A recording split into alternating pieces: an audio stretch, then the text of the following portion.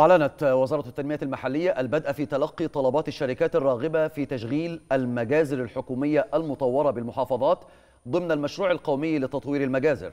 وأوضح وزير التنمية المحلية محمود شعراوي أن هذه الخطوة تأتي في خطة الدولة لإنشاء وتطوير ورفع كفاءة المجازر الحكومية على مستوى جميع محافظات الجمهورية وذلك لتشجيع ثقافة الذبح داخل المجازر والاهتمام بصحة المواطنين وتوفير لحوم حمراء آمنة وبجودة عالية وبأسعار مناسبة.